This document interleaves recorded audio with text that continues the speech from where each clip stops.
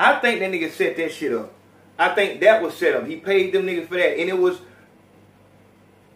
rightfully so. He he he did the right thing. Like he's a good kid, smart kid. So um, he got some white boy behind him saying, "Hey man, just pay some fucking thugs, man, to fucking come down here, man, and just you fucking look like a fucking gangster, bro. You fucking look like a fucking gangster, bro. Just fucking pay him off, man. Just give him like twenty dollars, bro. They'll come down and, you look like a fuck. They'll probably just love to be on camera, bro. Just give them like twenty dollars, bro, and they'll fucking do it, bro. You look like a fucking gangster." So I think he paid them motherfuckers off to come confront him, and he stand there and be like, "Oh, bro, I ain't know none of that, bro. I ain't on none of that, bro. I ain't on none of that, bro. You pull me to the side, bro, on everything, bro."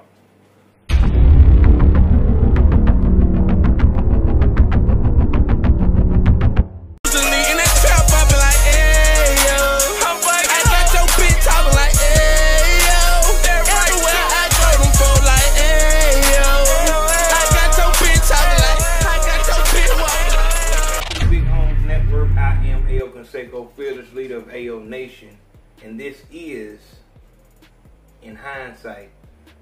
This will be broadcast on the Big Facts Podcast channel only because a lot of the viewers, subscribers from the Big Facts Podcast channel don't even know about this fucking channel for whatever fucking reason. So I have to put it in both places, but it lives on the Big Holms Network. Come on over here. This is what we got over here. All right DaBaby just killed the nigga in Walmart. So he was in he was at home, he was in Charlottesville, whatever the fuck like that, and a nigga tried to rob him in Walmart. Firstly, let me give you a little background on DaBaby. I don't even like the name. I guess you can see that I don't like the nigga. I don't like him because as a street nigga, I was telling Big C this shit, man. When we talked about um was talking about you know getting a bitch and and and tell, having a having a successful side bitch. I told him as a if you were ever a real street nigga, those things that you learn is kind of like you went to college. The things just because you're not working in what you got your degree for doesn't mean that you can't. You got a degree for uh, biometric fucking quantification, whatever the fuck like that, but you working at McDonald's, that's not to say that you won't be making a sandwich and say this has fucking binomial, bionomical fucking bacteria on it. You can still see those things that you learned because you went to four years of college. It's all you fucking pumped in your head, so you can you still have that trade in your mind. Um, do you need to simplify that?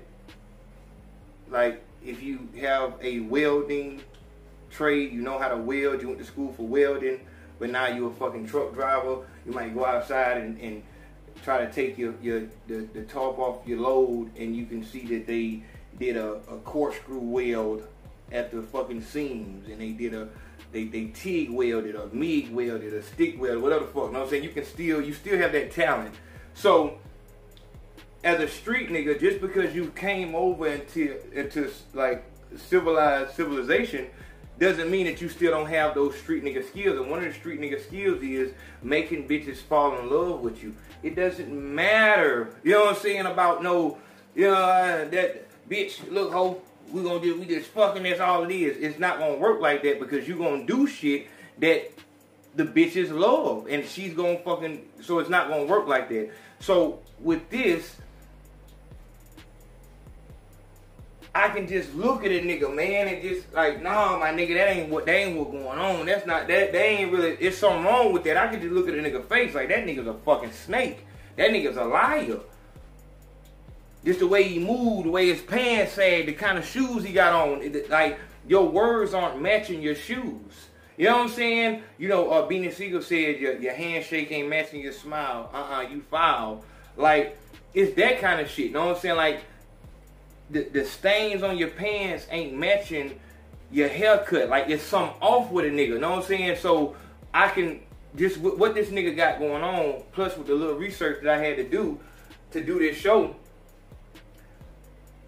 and plus the fact I had I had accidentally, I guess, got onto um, one of his videos.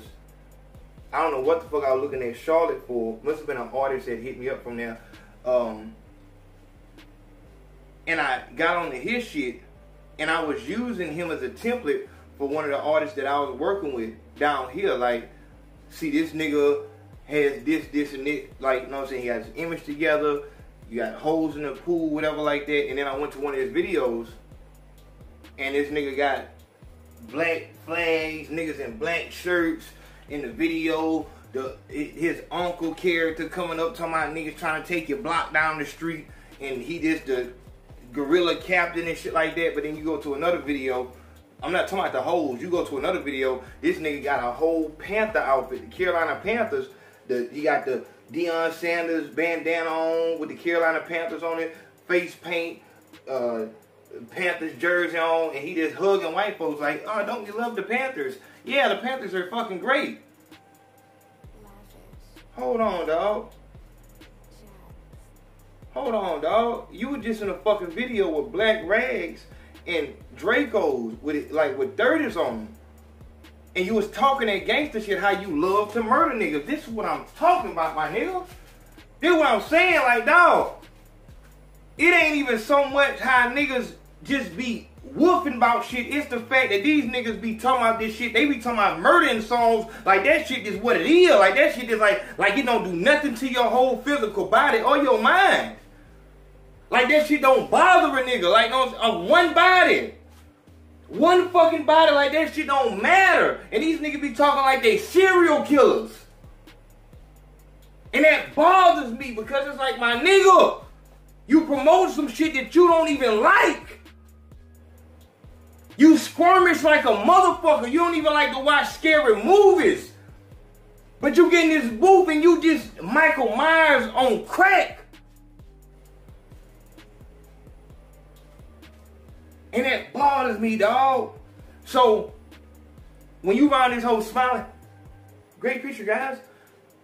Want to take a selfie? Hey, guys, you want to get beer later? What the fuck?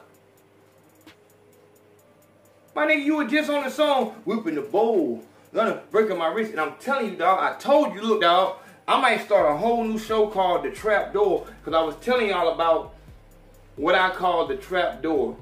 The trap door is no longer, and it might just be the rap door, but I'm gonna call it the trap door. Because there's no longer a certain knock that you have to have in order to get into this rap game. That was me, y'all. That was me. You can just, hey, open the door. And, and motherfucker will open the door now. Anybody can get in. There's no vetting system. So we can go from Dolph to Lil Skies, Gucci, Lil Pump, um, Gotti, uh, Lil Xan. You know what I'm saying? We saw Post Malone. We saw Iggy Azalea, especially do this shit. Come through this fucking uh, rapping like a down south bitch.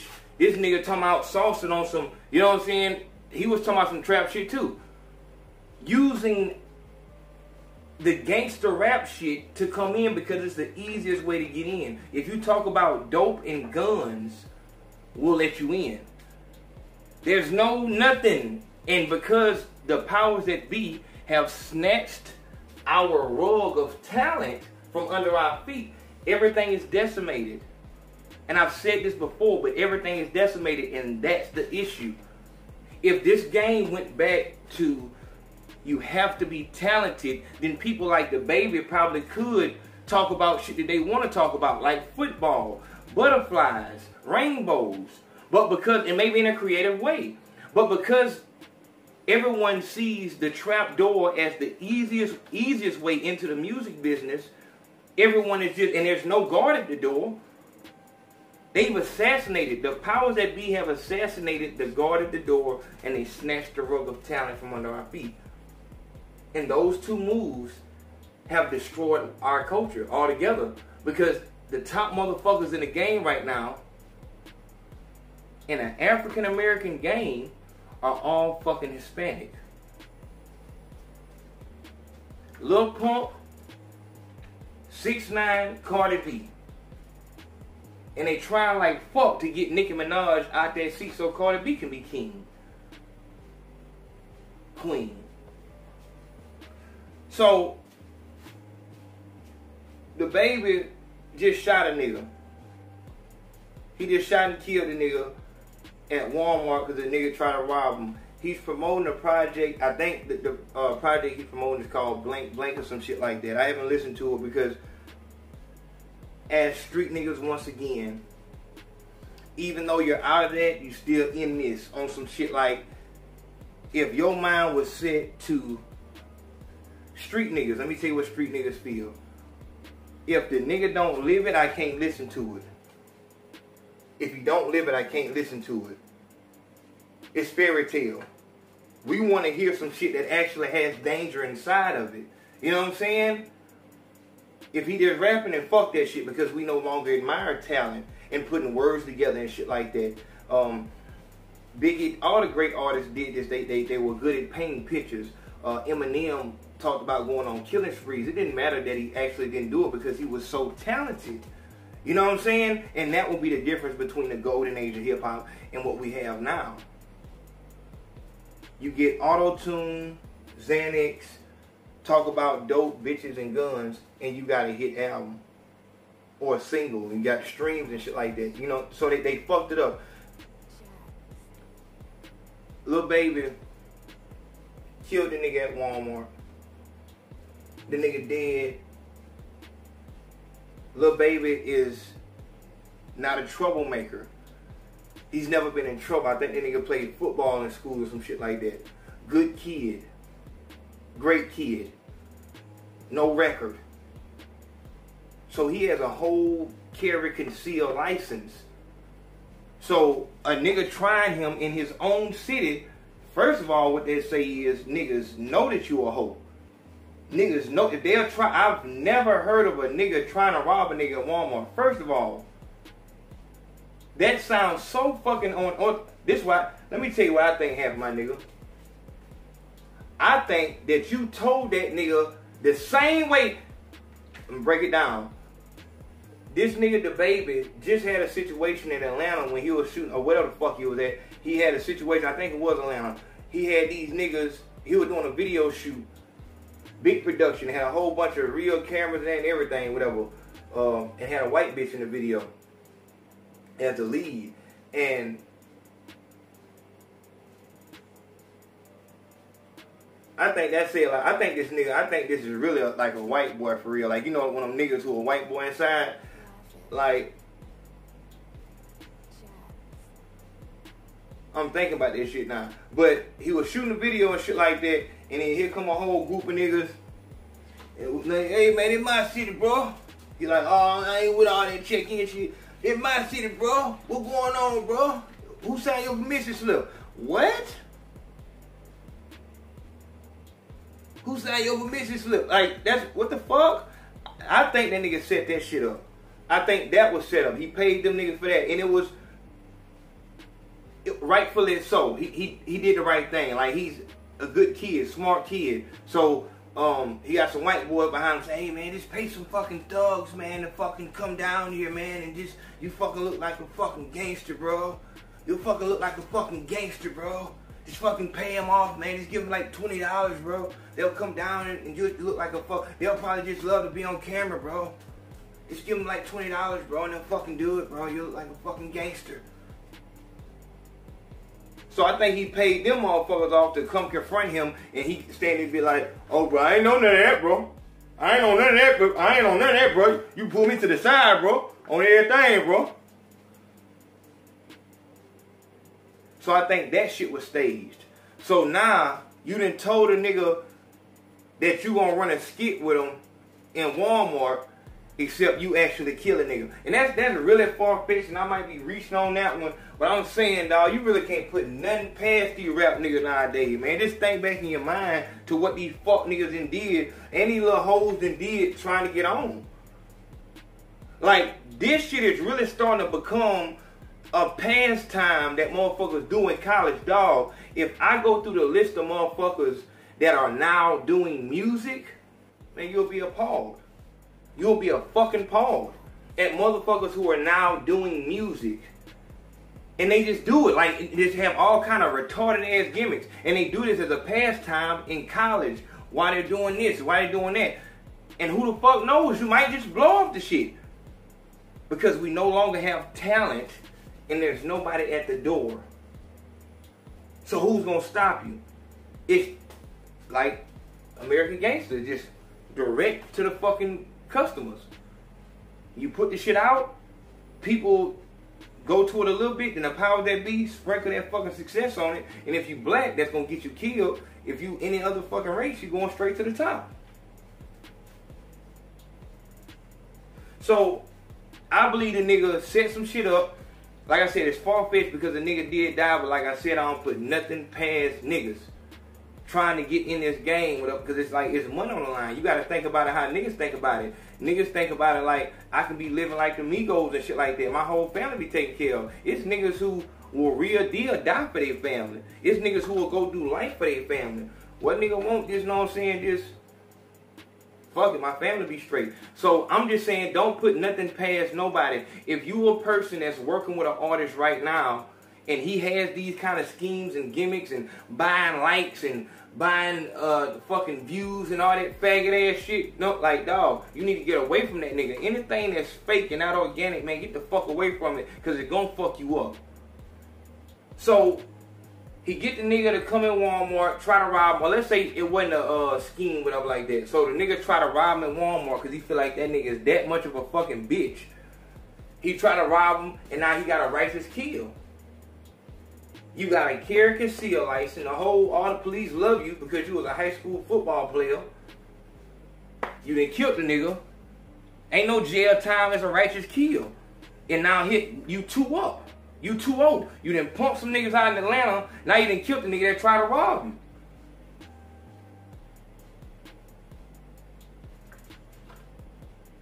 You talking this this trap shit, which obviously is not fucking. I don't listen to me, my nigga.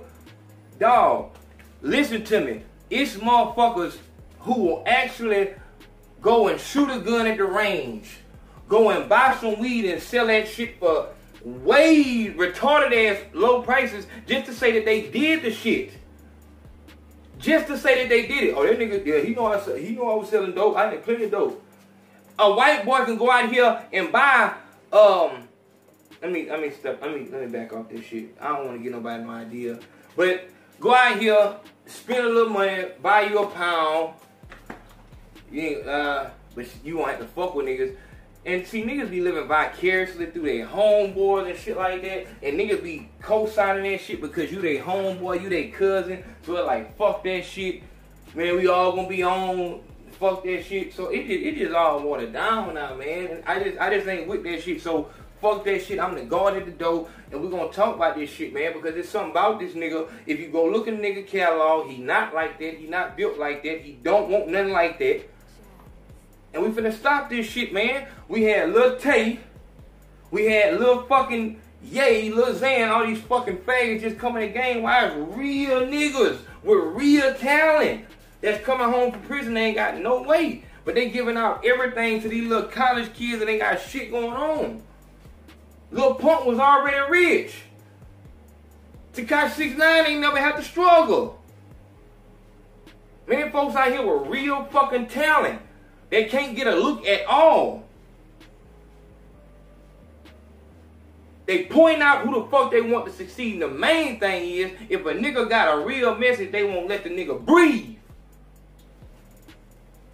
So fuck that. I'm on every whole ass nigga, lame ass gimmick nigga head. Fuck it. Big Holms Network. This is in hindsight.